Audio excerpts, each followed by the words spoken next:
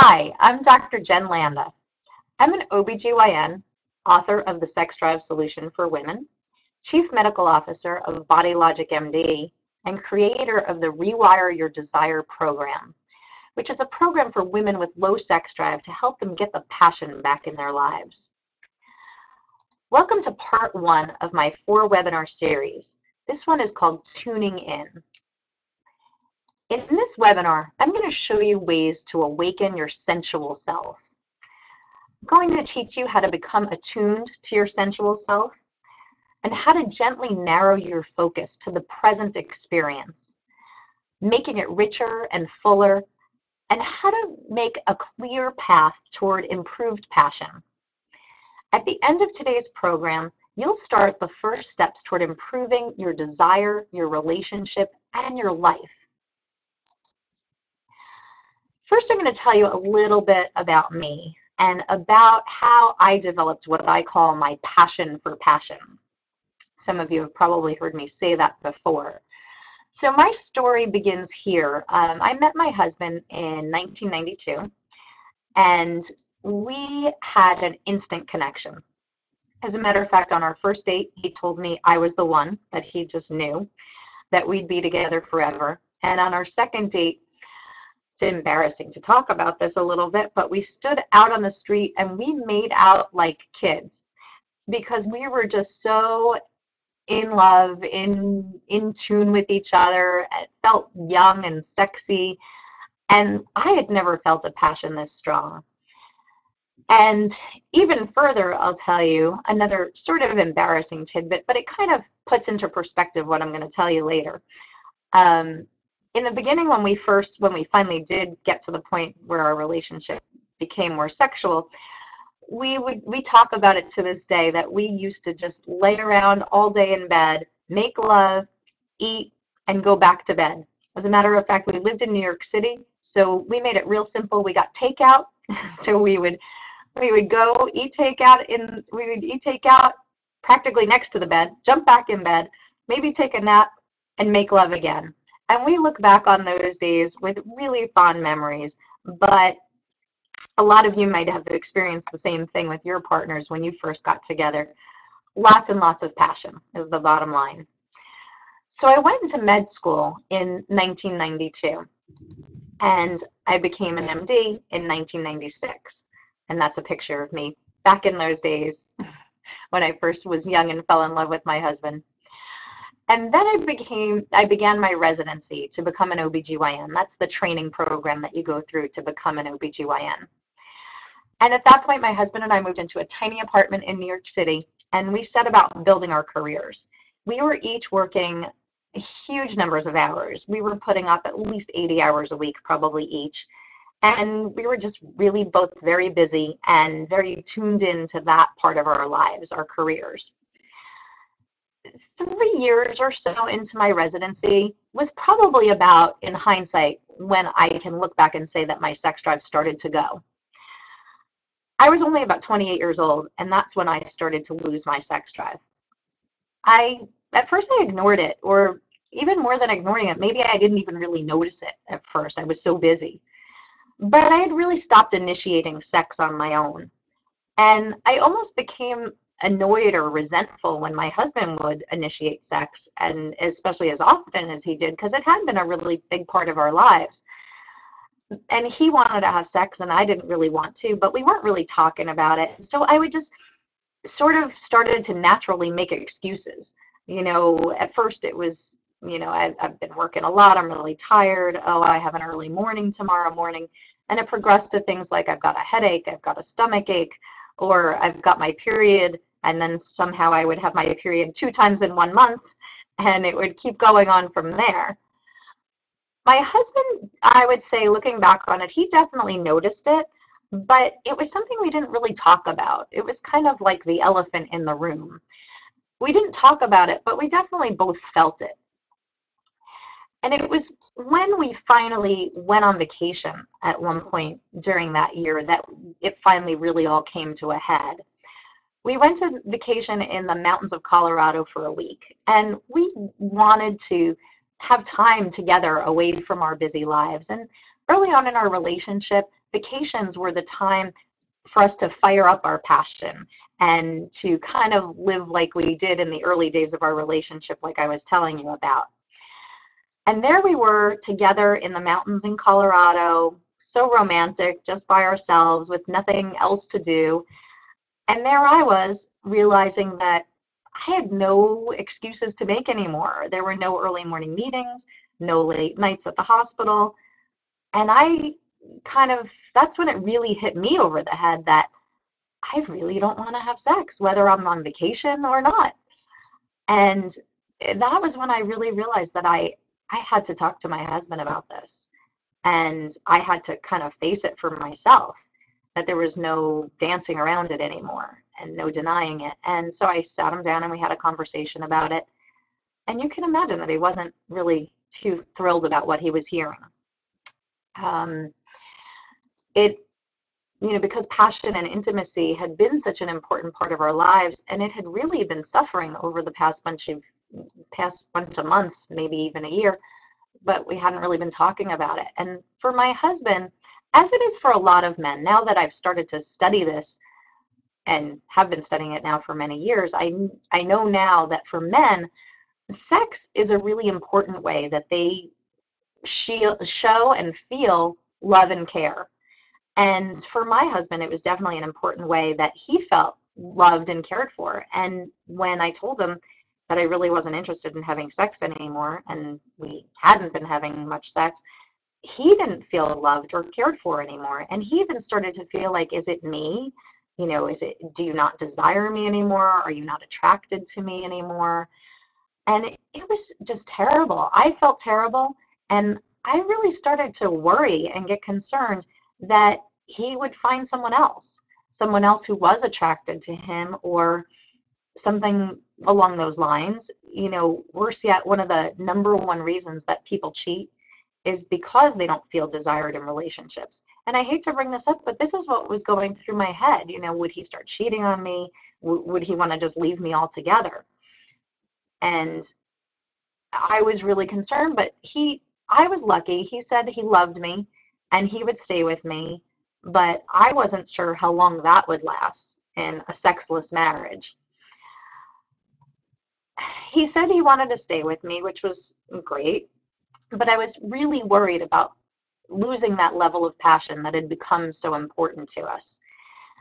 And it really felt like the death knell of our relationship. At that particular point, I, will never forget. It's a memory I'll never forget. Driving down out of the mountains of Colorado back toward the airport, as we descended out of those mountains, I felt like we were descending from the high that our relationship had been down to a new sad reality, living our lives on this new lower level.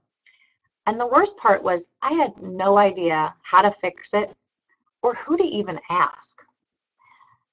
On top of it all, what was really the worst part for me on, on top of it was I was a doctor and I felt like I was supposed to have the answers. During my residency, I had never learned about what to do about women who have low sex drive. I thought about all the doctors who had taught me, my chief residents, the attending physicians, and nobody even really talked about it at all. Nobody even mentioned about sex drive or how to help women with low sex drive and there weren't any treatments that I was aware of and I was I was frankly I was afraid for my marriage and I was embarrassed to even talk about it with anybody the only person I'd talked to about it really was my husband and he didn't know what to do about it and was kind of miserable about it altogether so it wasn't a great topic of conversation for us I needed a solution but I had no idea where to even start My lack of sex drive sent me on a journey that lasted many years. And beginning with the solid foundation that I had in medicine, I basically just started researching. And since that sad day when I descended the mountains in Colorado, so afraid of the future and what it might hold, I have learned what causes sex drive what causes it to go away. And I'm happy to tell you that I've become what I think is an expert in sexual health, a so-called sexpert, if you will.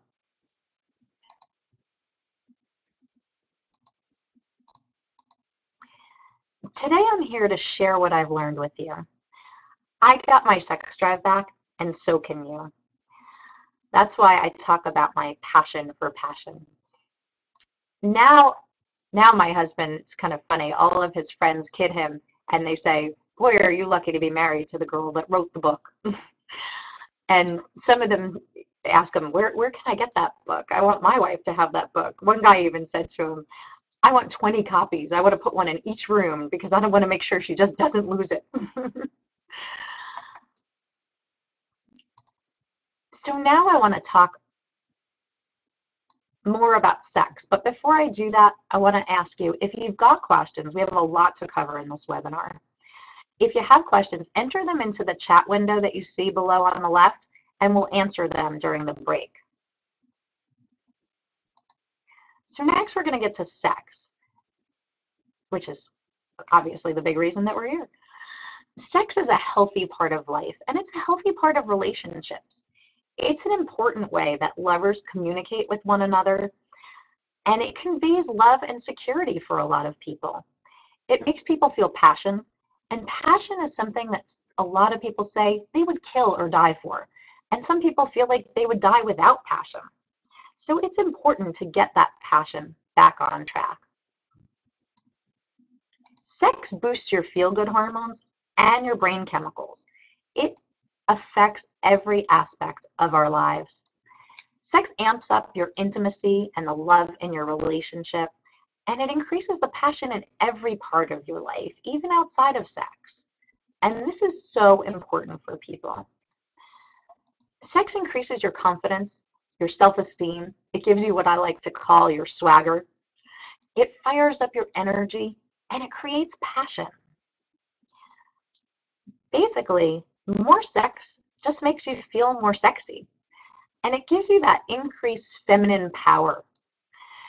I want you to remember that orgasm is a really important part of women's health. Your vagina is an organ. If you don't use it, you lose it, just like all the other organs in your body. And if you don't get interested in sex, your relationship will suffer. At least it may suffer. And I hate to put it like this, but this is what I was worried about, and a lot of women I meet are worried about this.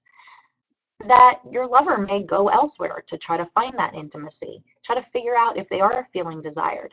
And even if you haven't thought about it, you probably should be thinking about it. Because if you're not talking about it, you don't know what the other person's thinking. So I really encourage you to think about it and to start on this journey to getting your passion back.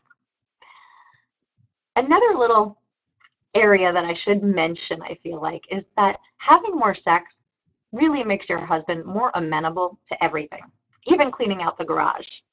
With more sex, most people's husbands become a Mr. Fix-It machine without any nagging required. I hate to put it this way, and I don't mean to sound mercenary, but most men like sex, and they feel loved and they feel happy when they're having sex. The more happy they are, the more motivated they are to please you. The more you feel loved and happy when they try to please you. Thus begins what I like to call the beautiful, blissful cycle. Everything in your relationship will just flow more smoothly when you have more sex. There are two stories now that I want to tell you about. And I want to tell you about these each because they each have the same thread and they're kind of like what I was telling you about me. Each of these women worried that their relationship was at stake.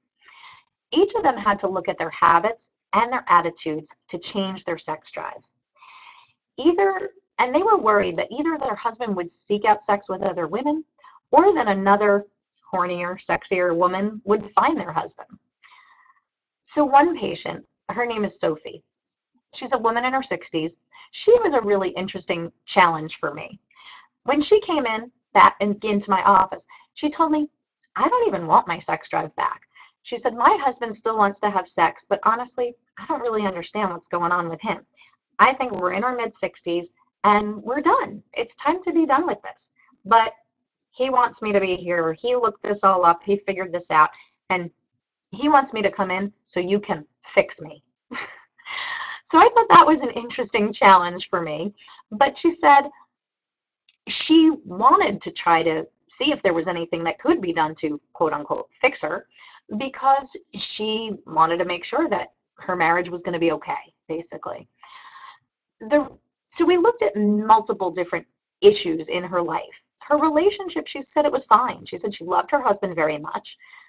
Her relationship was loveless, though. It had no sizzle. So we focused with Sophie on changing her habits.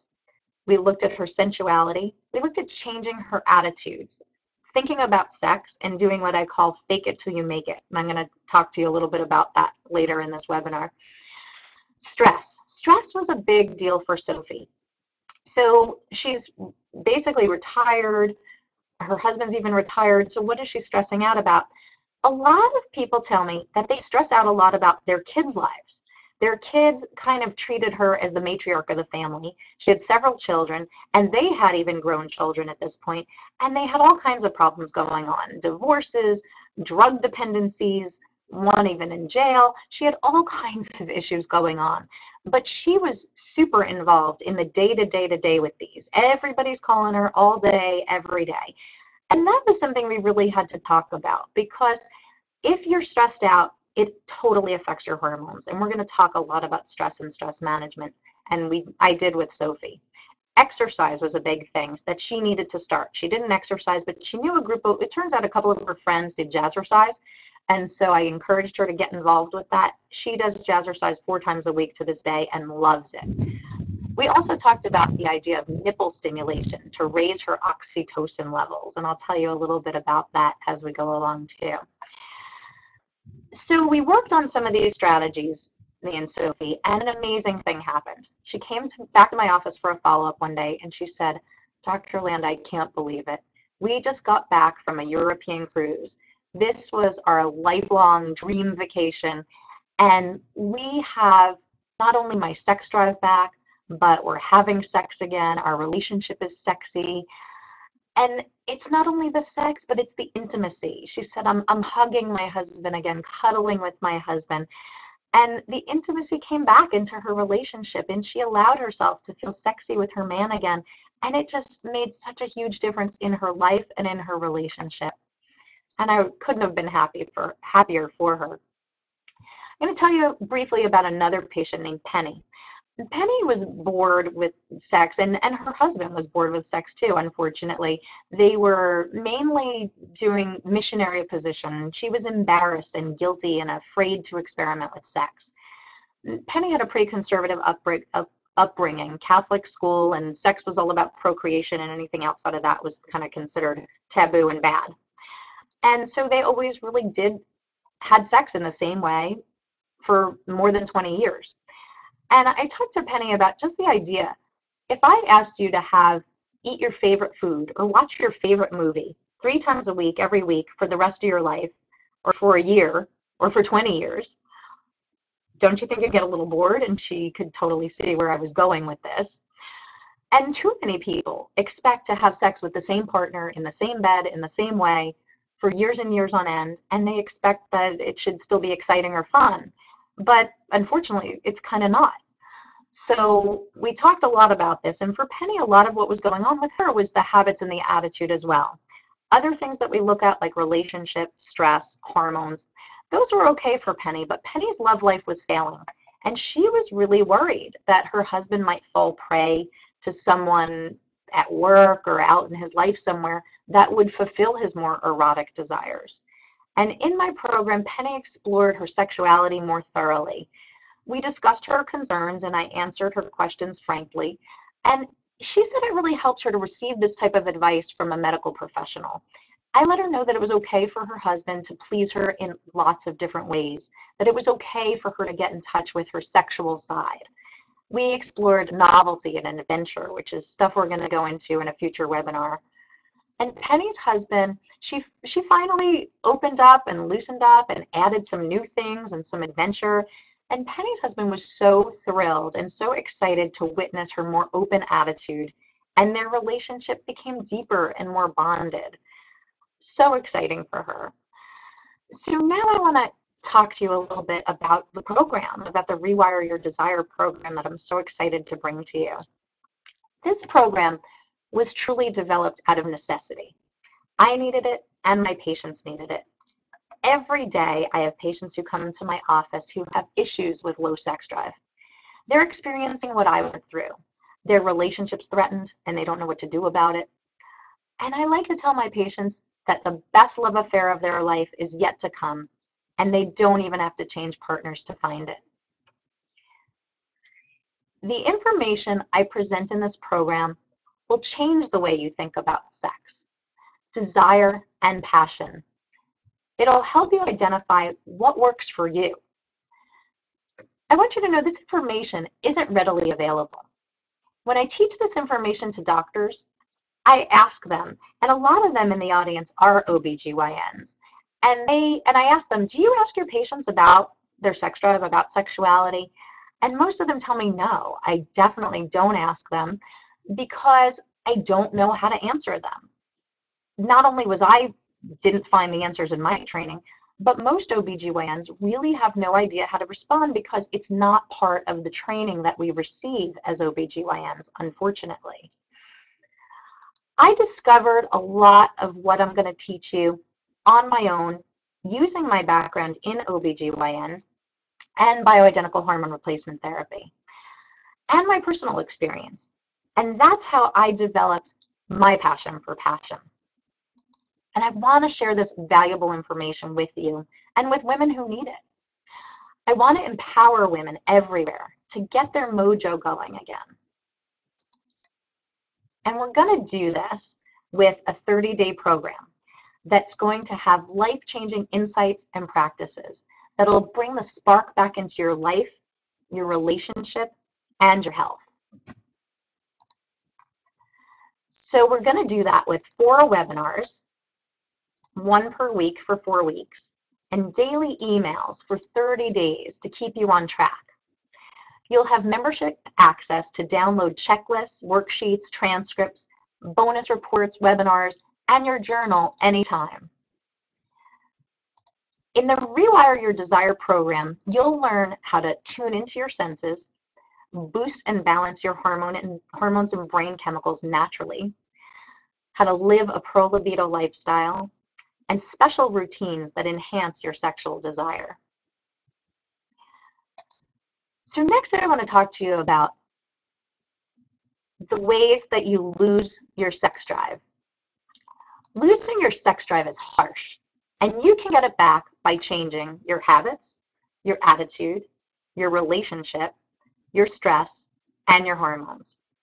These are the core issues.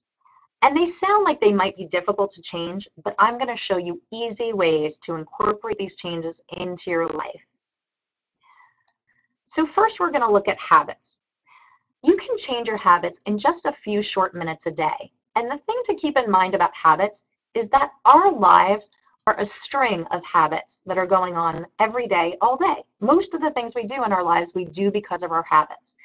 So if we change our habits, we can change our lives. Living a pro-libido lifestyle with nutrition changes, exercise, and stress management, making yourself more of a priority, and practicing what we call self-nurturing habits are really important. As far as attitude, remember, attitude is everything. 98% of sex happens in your brain. And women's sex drive is made up of a lot of different pieces. And our brains work really differently than the way men's brains do. We have to learn different ways to become more sensual and more passionate. Women's sexuality is more responsive, and it's up to us to figure out what makes us respond. The typical sexual response cycle that we're all used to hearing about from Masters and Johnson's many, many years ago, it starts with desire, then it moves to arousal, then it peaks at orgasm, and then you go to plateau. And that's the typical what, what doctors learn about the sexual response cycle and what most people learn. That tends to be pretty true for the way it works to, for men. But in the 80s, a researcher named Rosemary Basson came up with a different model of the way it works for women. And the way it works for women, they actually say it's much more of a circular type of pattern rather than just a straight linear relationship. And this circular pattern means that we can have desire before we have arousal, or we can have it the flip side. We can be aroused, and then that can cause us to have desire. Another really important aspect that they entered into with the women's model of sexual response is the concept of emotional intimacy. Emotional intimacy can be a reason that we have sex, or it can be a reason it can be a reason that we want to have sex. It can be a it can be a driver for sex. So the emotional intimacy is a really important component that really isn't even involved in the men's models.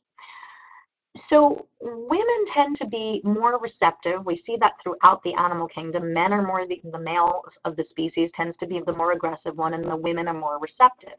Now, it may not be that way as much in our younger years, but as we get a little bit older out of our prime baby making years, so to speak, where we have the urge to merge, after that, women do tend to be more receptive, but we can learn to get more receptive. We can learn what makes us receptive and how to facilitate that on a regular basis.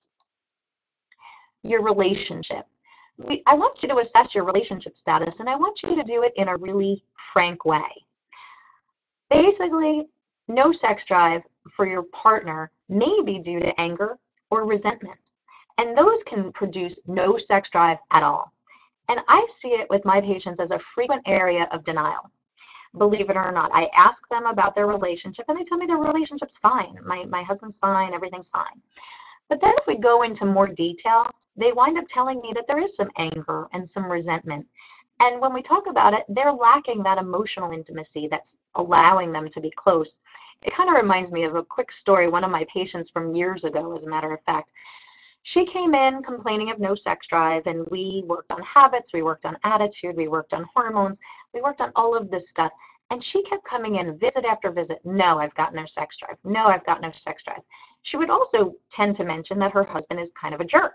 She felt basically like he was a jerk. And so finally I said to her, you know, is your husband the the target of this sex drive that we keep talking about and she said well yes and i said all right what if for a minute eh, eh, let's imagine who's the sexiest movie star you can think of? And she said harrison ford. And i said okay harrison ford fan fine. So what if by some miracle it was harrison ford who was the guy who was in your bedroom rather than the husband the dark and she said oh no problem. I'd be all over that. And i said okay well then we have a different problem. The target of your sexual desire you think is a jerk. You're not going to have sexual desire for somebody who's a jerk. And it's not only that patient. I've seen that over the years, time and time again, patients who don't realize that it's their anger and their resentment toward their partner that's getting in the way. So you've really got to address that as well. The next one is stress. Stress is the most common sex killer I see. It really is. Stress produces a hormone called cortisol. And cortisol robs us of our progesterone, which is our calming hormone, and testosterone, which is our hormone of desire. Stress causes what we call a hyper alert state. And sex can only happen when you're relaxed. So we're going to talk a lot about stress and how to alleviate stress and why that's so important. Hormones. Many patients come to me and they tell me, I know something is off. I know that my hormones are out of whack but I've already been to my OBGYN and checked it out, and my OBGYN says my hormones are normal. My hormones are fine. Fine is the word I hear a lot. Fine, as a lot of my patients know, is not the same as optimal. With hormones, there's a huge range of what's considered normal from very, very low levels to very, very high levels. For some of us, the higher end of normal may be what's optimal for us and may be what our body considers as normal. And if we don't individualize that, we'll never feel right and our hormones won't be balanced. But unfortunately, like I said before, some of this stuff is stuff that OBGYNs really aren't taught to do. And I wasn't taught as an OBGYN. So when you feel like your hormones are out of balance, you're probably right. And you need to get your hormones back into balance. Hormone balance is key to sex drive. And I'm going to teach you to check if your hormones are out of balance and how to fix them.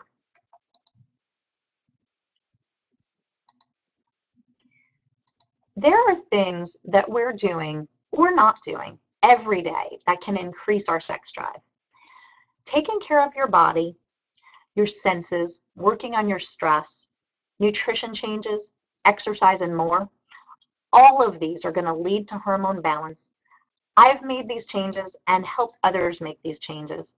These changes open the door to your sensual nature. Unfortunately, there is no magic pill. If there was, believe me, I would be more than happy to give it to you, especially if it had no side effects. We need to make small changes every day. These small changes add up all day long to big changes over time. We must change our habits to change our lives. We must incorporate these ideas and techniques into our way of thinking and into everyday life. And that's how we begin to rewire our brains and our body for sexual desire. You'll find that as you charge up your passion, your entire life will become more passionate, more energetic, and more satisfying altogether. I'm a lucky doctor. I really am because I get to have patients that tell me all the time how happy they are. They tell me thank you and they tell me how I've changed their lives and given them hope. A lot of women tell me that I've given them back their lives. And sometimes they tell me that they feel like themselves again, and that's to me the best reward, or that they even feel better than they ever did. I can teach you to feel this way too, just by focusing on these different practices. I'll teach you how to overcome the harsh reality of low sex drive. I get lots of requests from women to help their husbands as well. It started pretty early on when I started to do this type of hmm. medicine with women. They said, all right, well, now that you've made me feel better, Dr. Landa, what can you do with my husband? Because he's having issues too. And at first I didn't know what to do, but ultimately I wound up pursuing additional training in men's hormone balancing and the treatment of men's sexual issues so that I could help men too. Because I wanted to be able to answer the question, well, what if it's him, not me? Or what if it's both of us? Once you help me, can you help him? My patients need to talk about it, but some of them worry that they're opening a can of worms. I think you really need to talk about it. If you've got the elephant in the room, so to speak, that I had in my relationship, I want you to talk about it. I want you to open up about it because that's the first step to changing it. And I want you to be in a happy relationship. It's really cool when you get husbands and wives on the same page. I have a pair of patients who, a couple that I see, and the wife one day came in and told me the cutest story about her husband. And she's and it, and I have lots of patients who tell me whose husbands I never met who tell me that oh wow my husband is a big fan of yours because you've given me my sex drive back and they're very happy with the change. But I had this one couple that I was telling you about that the they came in as a couple but the woman said to me I have to tell you this cutest story about my husband. Her husband's a conservative judge and she said one day they were hanging out in bed and he was just lying there with his hands under his head and he goes I just love Dr. Landa. so that was one of my examples of one of the husbands out there who loves me. And I'm so happy to have helped give them their wives back. The next story I want to tell you before we move on to the the meat of today's subject about tuning in, I want to tell you a story about a patient named Monica. Monica is a 44 year old woman, or at least she was 44 when she first came to me. And she works in her family business. By family business, I mean a business that her and her husband essentially run. And for her, that means kind of what she calls chief cook and bottle washer. You know, she does everything from the bookkeeping to the marketing, and she's super busy because not only that, her she has two kids. And in the economic downturn, of course, they've had to cut back and they had to actually lay off one of their employees, which meant that Monica had to take on even more stuff that was going on in the business. So we talked a lot about stress, obviously, with Monica, because stress, I'm sure, is a big part, you know, and we, we proved that stress was a big part of what was causing her sex drive to go downhill.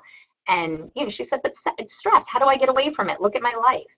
So as we talked, I came to learn more and more about Monica. And one of the many examples of ways that I helped Monica de-stress that I want to just bring up now is that so when Monica was she was in the car a lot because she was driving two kids around from one activity to another and when she was in the car she would listen to the political news and the economic news and she would get so riled up about all of that. She would get to the point where she was literally screaming at the radio and pounding on the steering wheel. And I said, wow, you know, Monica, what do you think would be the difference in your stress levels? I get stressed just talking about this. what do you think would be the difference in your stress level if we were to put on maybe some soothing, calming music, maybe like some classical music or something in the Enya type of category? What, what do you think would happen then to your stress levels? And she said, huh, okay, I never thought about that. That's one way I could change my stress. So that's just one way that I helped Monica change her outlook. And everything sort of got better from there. I, I taught Monica a lot about focusing on now, mindfulness, which we're going to talk about in a few minutes. And these simple little changes that I asked her to make every day in her life changed her entire outlook and everything in her life, including her sex drive, got better. Now Monica even gets down on the floor and she plays games with her kids because now she's able to be more mindful, be present in the moment, and she's able to do what I call flipping the switch. And flipping the switch is one of the things that I want to teach you to do. It's one of the things that I've learned to do, and I think it's super important for women to learn in their sex life. So now I want to teach you about your senses. Listening to your senses is the key to opening the door to your sensual self. And nothing could be more important when you're trying to help improve your sex drive. So remember the five senses, touch, vision, hearing, taste, and sound. All day long, your senses are gathering up information and sending it to your brain. Listening to the input from your senses can help you learn what stimulates you. Here's how it works. You receive triggers and you have a response.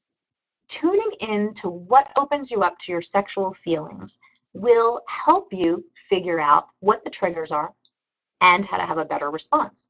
The more you know about yourself, the more likely you'll know what turns you on.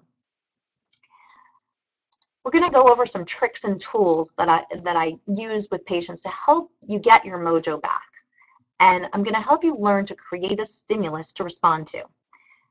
You're also going to learn to work with your partner to find what things stimulate you and use them to help you get sexy.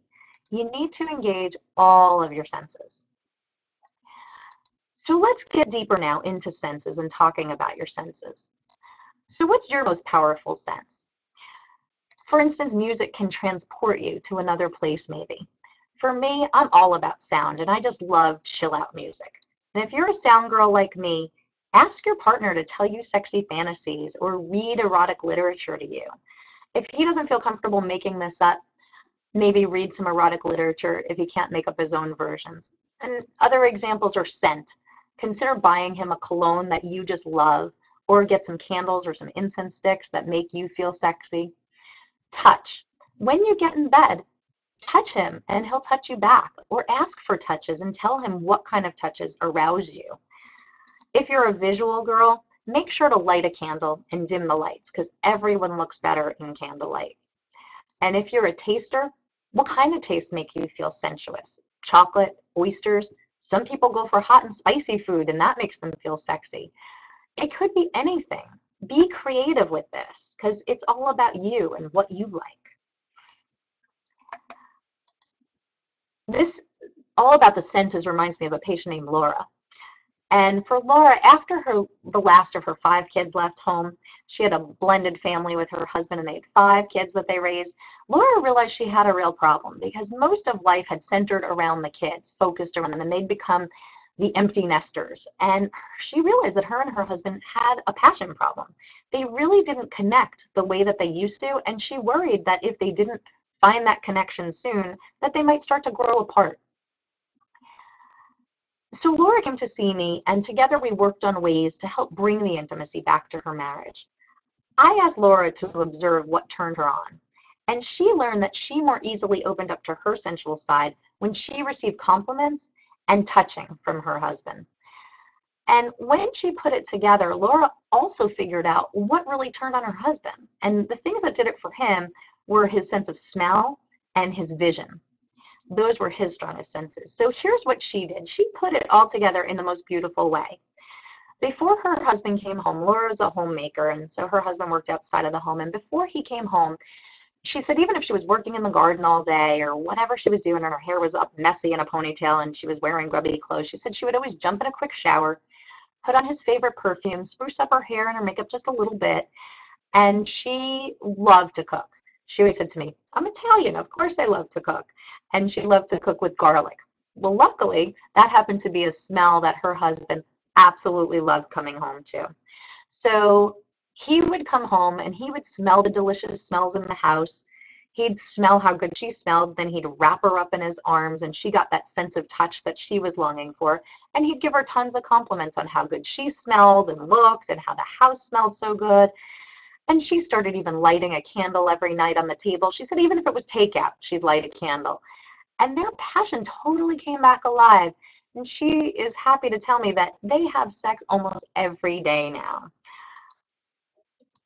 So I want to next tell you just about some handouts that we've got from today's webinar that'll help you understand your senses better.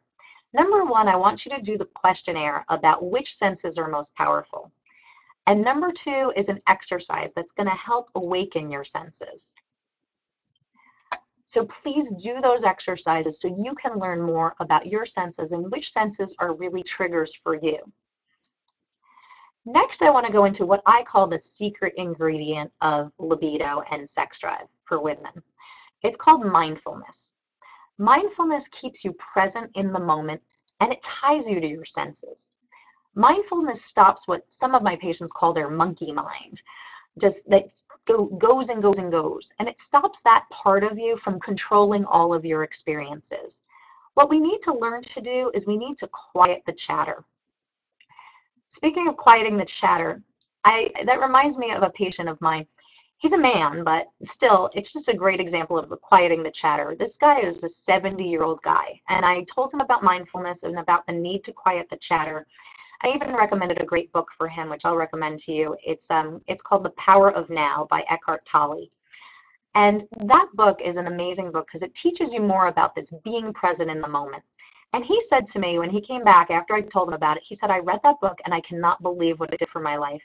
He said, I cannot believe that for 70 years I've had this internal dialogue, chatter going constantly for 70 years and was never aware of it. So the first step is just to become aware of it and to learn to become more present in the current moment. Most moments we learn when we learn to do this, most moments are good. And if we're not living in the past, which tends to make us depressed, or if we're not living in the future, which tends to make us anxious, we tend to be able to be present and be focused in the moment. And that not that makes sex better, but it makes every experience in our lives better. And who hasn't experienced this when it comes to sex? I know I have, I know my girlfriends have, and I know my patients have.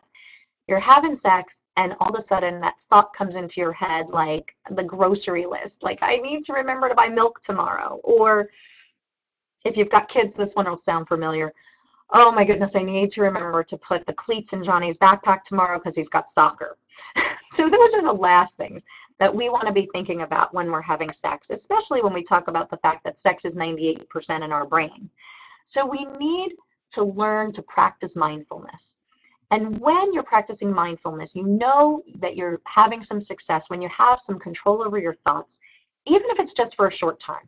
And try not to kick yourself too much about this, beat yourself up, because you know what? When you first learn to do this, you first start doing it, some people can only do it for a minute at a time when they start.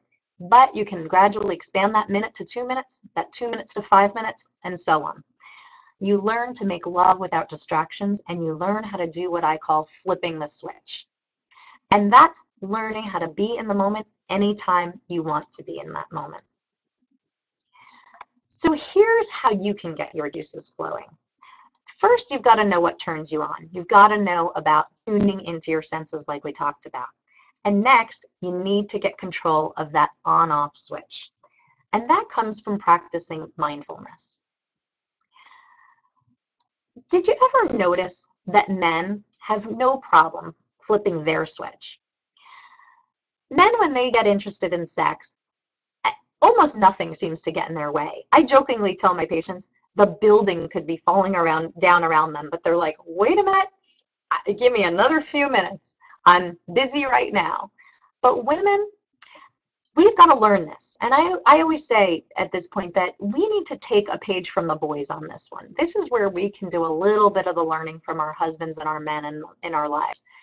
And when we pay attention to our senses and practice mindfulness, we can learn to be a little bit more like them. We can learn to flip that switch and to be more successful about staying, being in that moment and staying in that moment. And there are easy ways to practice mindfulness that I want to talk to you about now. So first, you want to learn to clear the decks. You want to learn to put things on hold because you know what? Everything's going to be right where you left it. I'm sorry to say, but the piles of dirty dishes, the piles of laundry that needed, need to be folded, they'll all still be there, even if you put them on hold for a little while. These are some little tricks that I've learned that help me and help my patients to be able to get in that mindful space. One of them is to picture a shelf in the room. I picture it on the other side of the room, but you can even picture a shelf in the closet. Picture it high up on the wall and picture putting your clutter and your busy thoughts, your monkey mind, if you will, picture putting it up on that high shelf and closing the closet door. And it'll be there when you're done, but just picture separating yourself from it so that you can stay in the moment. Another way of doing this is just to write down all of your busy thoughts on a separate list and put the list physically in another room separate from where the room where you're going to be making love so that you can physically separate yourself from your busy thoughts. And try to stop being so cerebral. Go with your body and your senses in the present moment. Some more easy ways we're going to talk about to practice mindfulness. Make yourself and your sex life a priority. So many women fall into the trap of making everything else their priority, and we fall to the last on the list. And that unfortunately includes our sex life. But remember, that's your relationship, that's your passion, and that's important.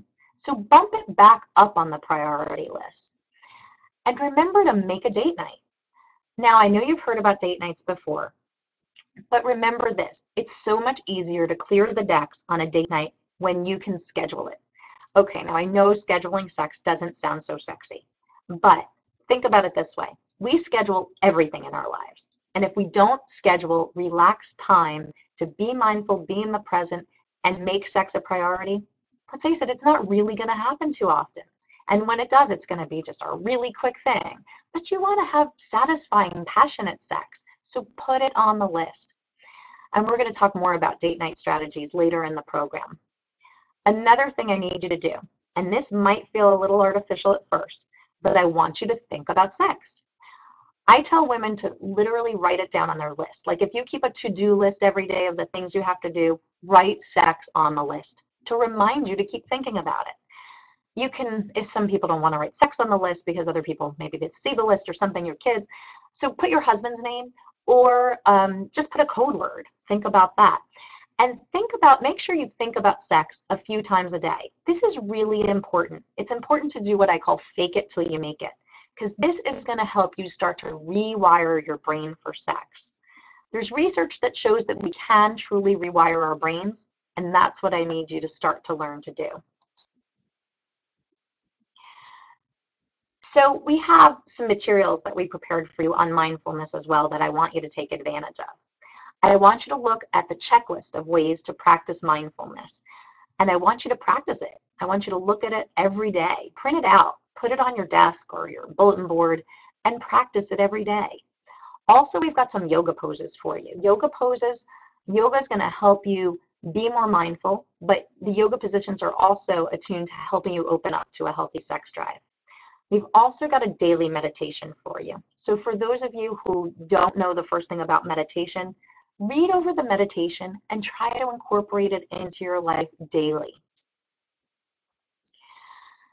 So now we're going to talk about how you can combine mindfulness and senses together.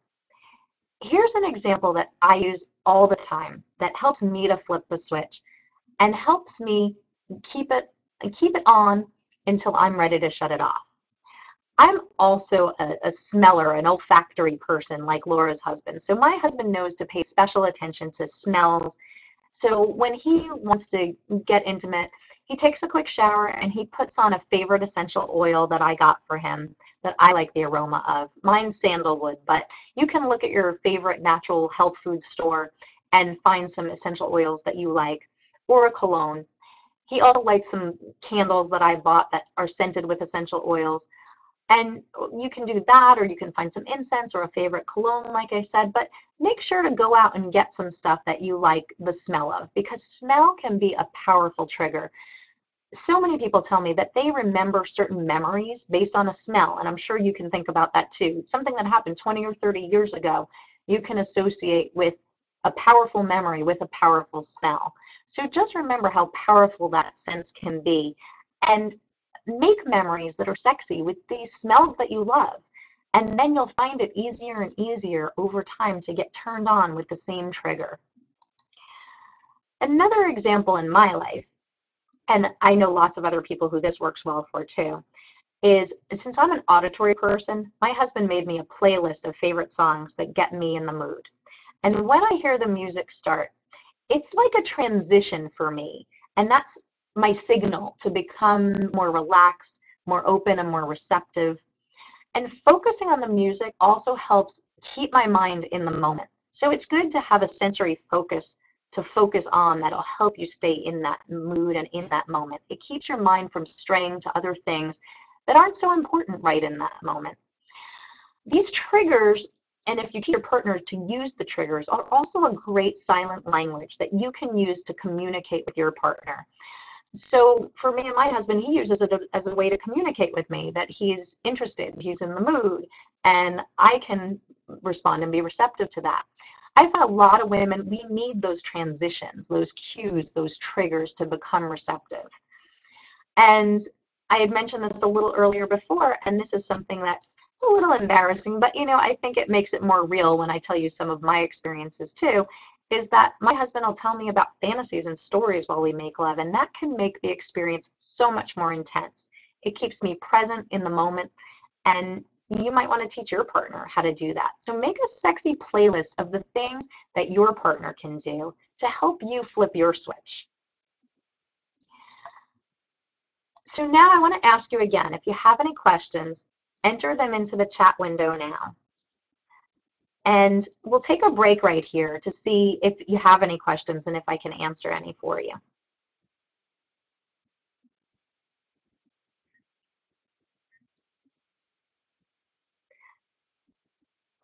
So my producer's helping me out a little bit with this. One of the questions that we got is, can you have an orgasm over 50?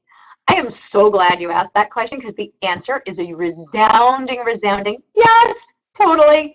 Okay, there was a study that just came out in January. And it was a follow-up to a study called the Rancho Bernardo study. Not so important what it's called, but anyway, they pulled women from 40s to 80s, and they asked them all about their sex life.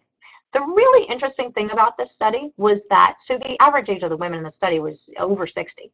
And what the women reported was that although a lot of them had a drop in their desire, their natural desire, so many of them were still having satisfying intimate sex. And I'm telling you, that was women into their 80s. And they did specifically ask the question, do you still orgasm? And a large majority, believe it or not, a big majority of the women over 60 through 80s said yes, they still have orgasms. So it's not necessarily all about the desire, but it's about getting there and still having that satisfying sex. And yes, you can totally, definitely have orgasms after 50. So I'm really glad we got that question and that I was able to answer that. So are there any other questions that are burning right now?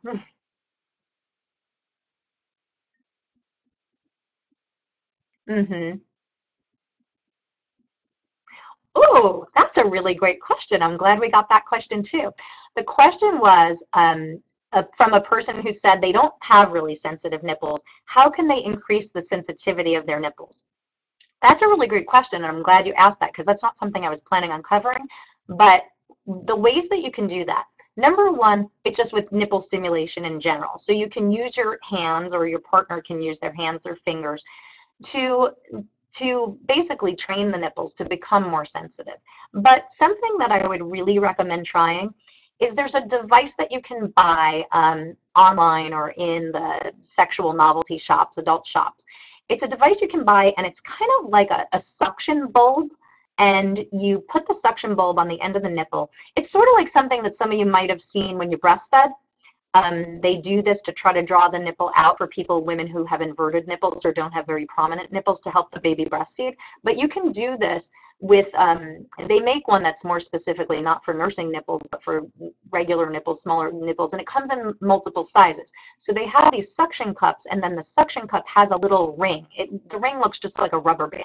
You place the rubber band around the suction cup, you place the suction cup on the nipple, you squeeze the suction so it squeezes the nipple up into the tube, and then you roll down the rubber band onto the nipple. And wearing that, um, you know, for maybe as much time as, as feels good for you, feels right for you, per, you know, every day over the course of a couple of weeks, what it does is it helps to improve the blood flow to the nipples. And blood flow and sensitivity go hand in hand. So, and there's a device actually like just like this that you can use for the clitoris too. But that's a great device that you can use to help stimulate your nipples. So do we have any other questions? Let me ask my producer if we have more. Yep, okay. More questions.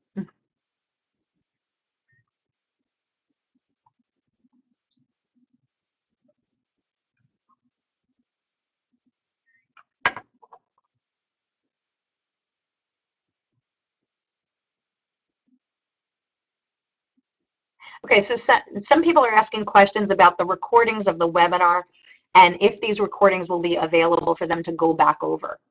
The answer is yes. They'll be available in a membership area that we've established for you, and you'll definitely be getting emails about how to access your membership section, your membership down area, and that will have downloads for you, and it will have you'll have the ability to view the webinars again.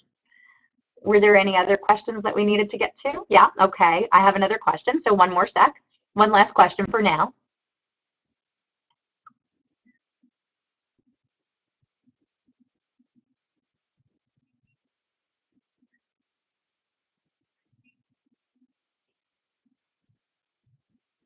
Okay. So another question we had is one woman said she doesn't even know how to start thinking about sex again. So one way that I would recommend to try to start connecting with it is first of all, the senses that we were talking about. Whether there's sexy thoughts or sexy senses that are coming to you, just learn how to really focus in on your senses for one thing, because that's going to help a little bit. And then another thing I would really recommend is I would really recommend considering trying to read some what they call erotica or erotic literature. And we're going to talk more about that in a future webinar. But I think that's something that can really be helpful since you're not having natural, easy thoughts about sex. To read more about sex and sexy thoughts might help you get back on track. Now, you might need more help than that, and it might come down to an issue with hormones. There might be other things involved that we'll cover in future webinars that might be helpful for you too. I think that was the last question. Oh, wait, I think we have one last question for now.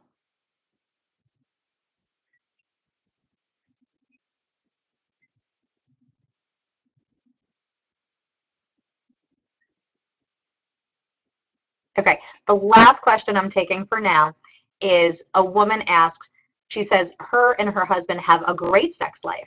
They spend lots of time having sex. Lucky you. And she asks, can it be a problem that they're spending so much time in the great sport of sex? You know, I don't I don't think that usually is too much of a problem at all, unless, and I, I want to give you this caveat, unless you're using it as your only method of communication. You know, I mentioned before that sex is a great way to communicate between partners. It really creates, it communicates a lot of love and care and special intimate bond it forges. But I think that some couples can use it as a way to avoid intimacy in some ways, to avoid the kind of intimacy that comes with really talking about issues. So if you're finding that you communicate in many other ways, on many other levels, then I don't think that's a problem at all. I think you should enjoy it and have a great time. All right, so we're going to move on a little bit now to another area that I want to talk about. And I want to talk about stress because, like I said, stress is a sex killer, and it's one of the biggest reasons that I see why women's sex drives really go down the drain.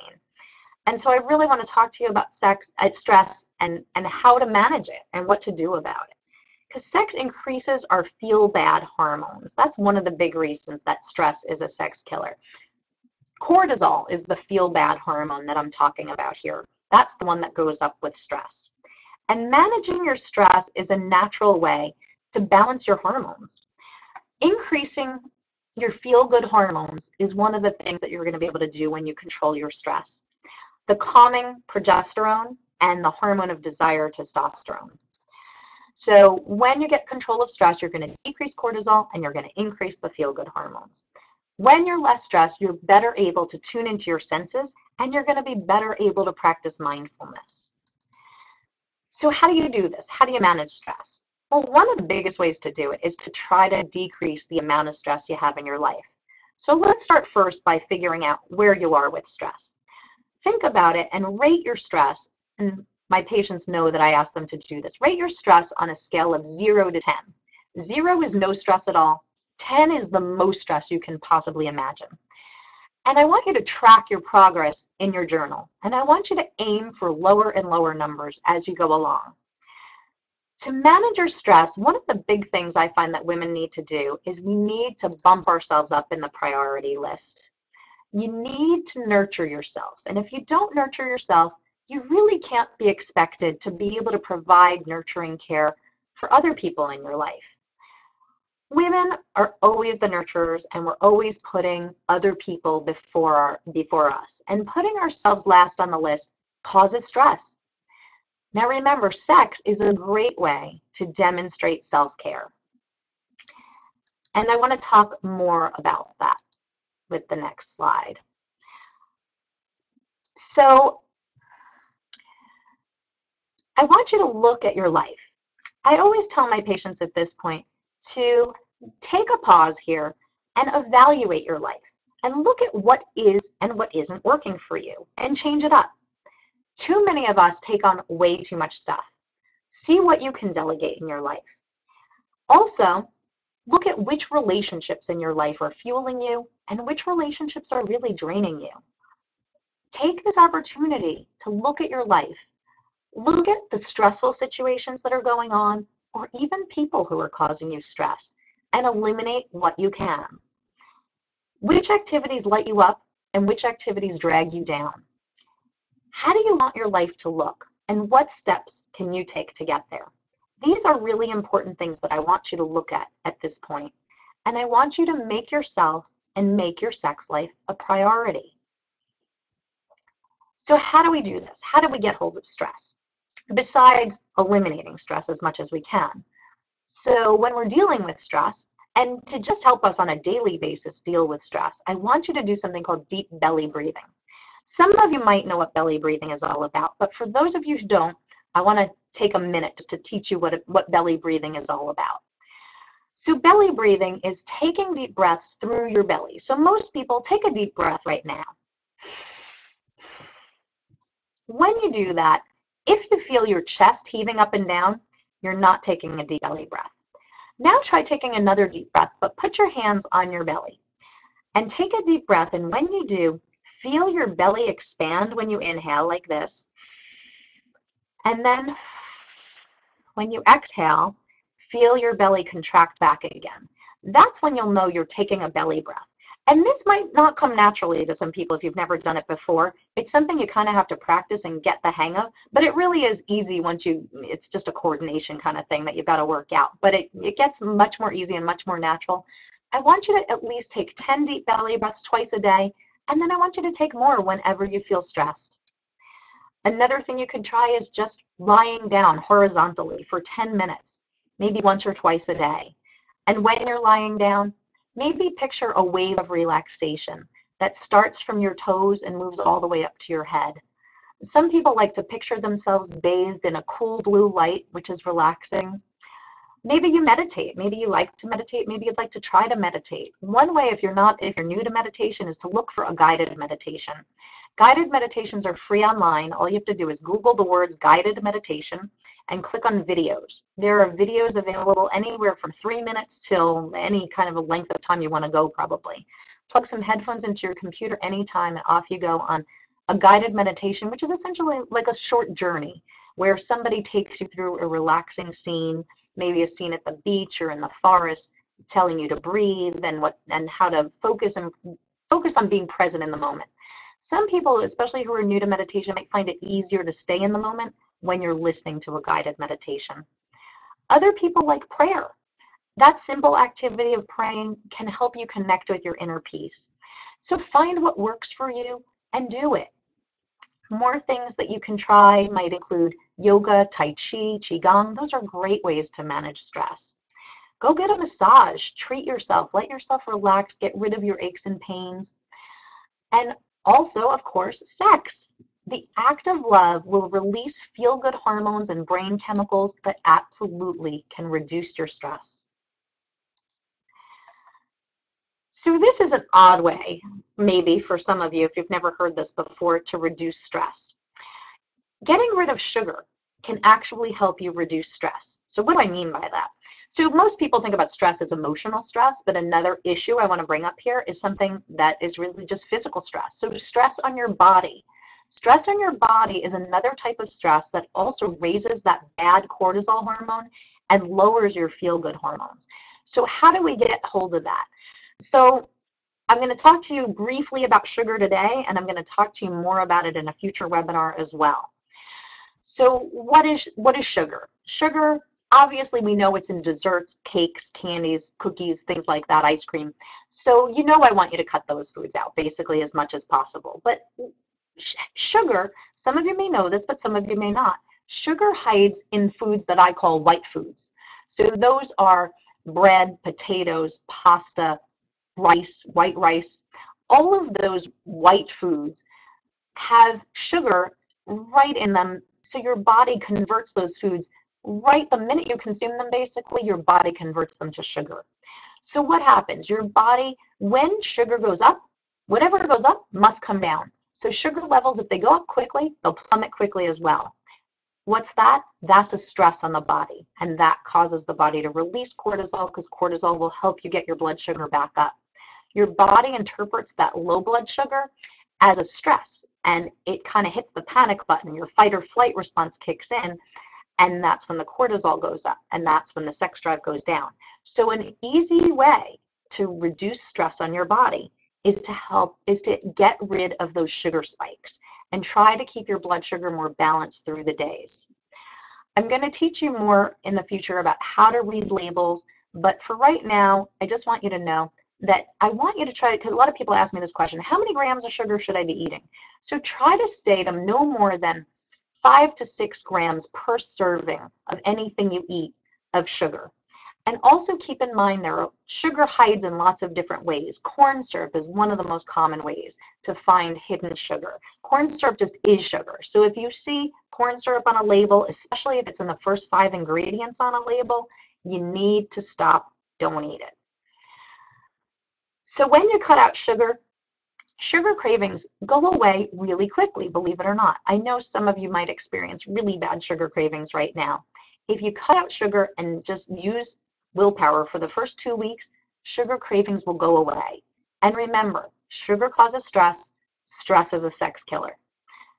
Less sugar equals less stress. Less stress equals more passion. So now I've come to another area, and we're, we're almost finished. I know we're running a little over time, so I want to let you know we're really close to the end. But I want to take a few more questions if we have any before we get to the closing. So my producer is going to give me another question that you guys have here.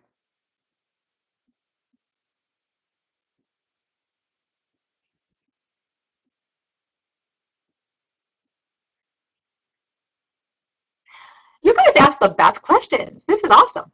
Okay, so this question was, does alcohol, like some wine at dinner, affect my cortisol levels?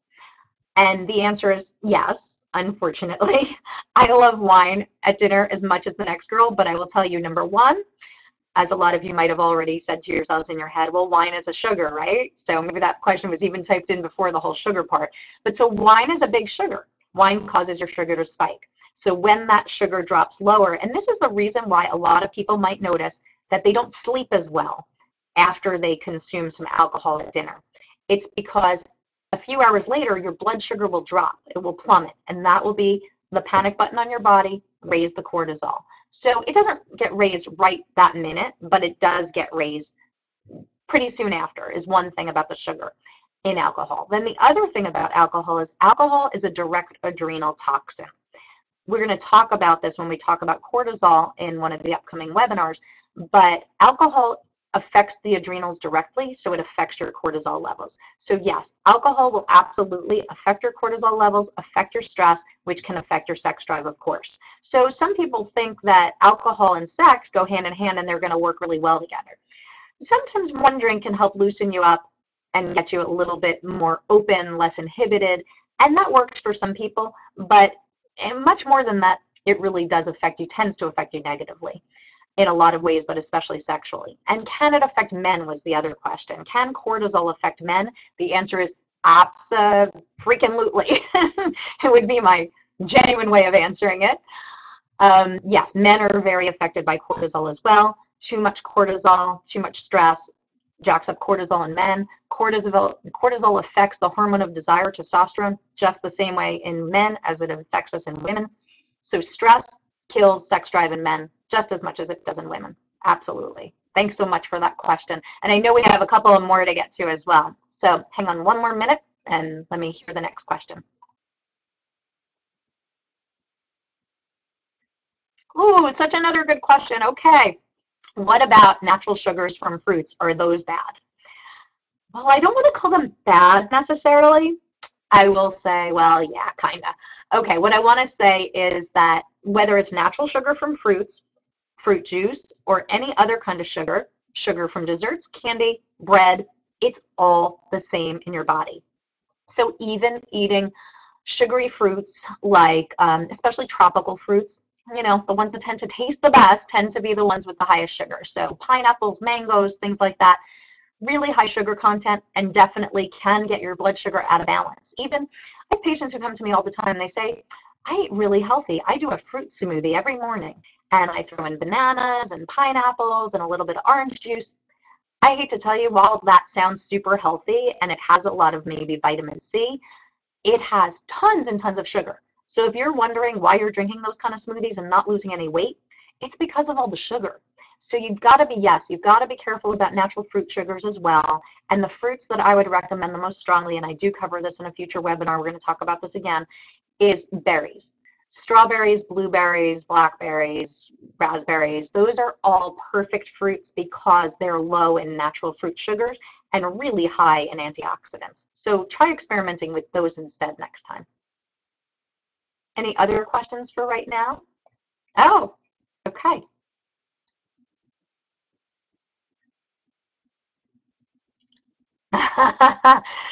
So we got a comment from somebody who said, no wonder my husband never wants to have sex at night. Yeah, that might be a big part of the reason. All right. Thank you so much for your questions. And please keep them coming. Keep the feedback coming.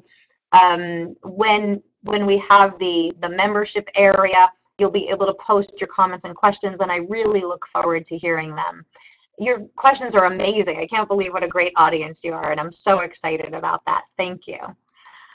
So thanks so much for joining me today. What I've shared with you today are three important pieces for improving your passion, for getting the passion back in your life. Tuning into your senses, staying in the moment, and de-stressing.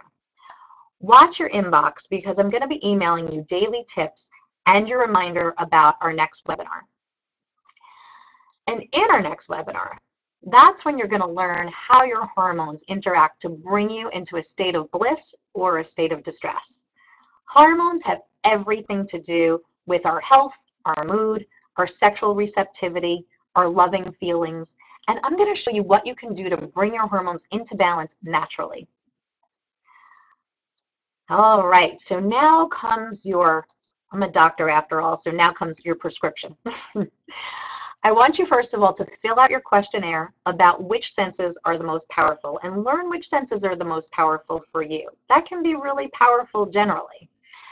and do your exercise to help awaken your senses. It's just seven quick steps that I want you to use to help get your get yourself thinking about senses.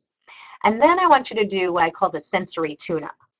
This is a lot of fun to practice, I think.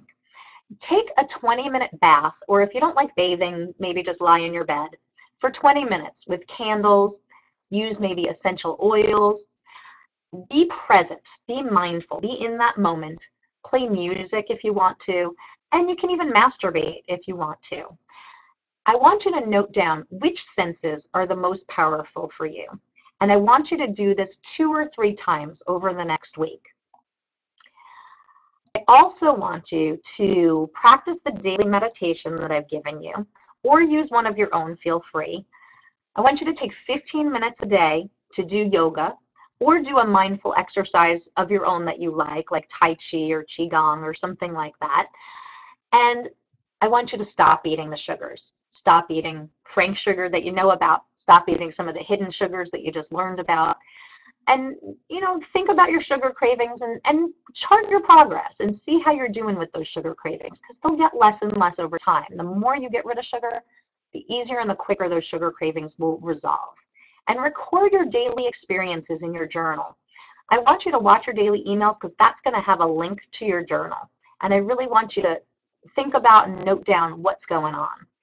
And then I want you to rewire to receive. I want you to think about sex several times a day. Remember, that's important. Even if it's not coming to you naturally, you're going to rewire your brain to think more about sex. All right. Well, thanks so much. Thanks so much, everybody, for coming and for your great questions. I look forward to seeing you in next week's webinar. And until then, here's wishing you the best of great health great happiness, and of course, great sex. See you next webinar. Thanks.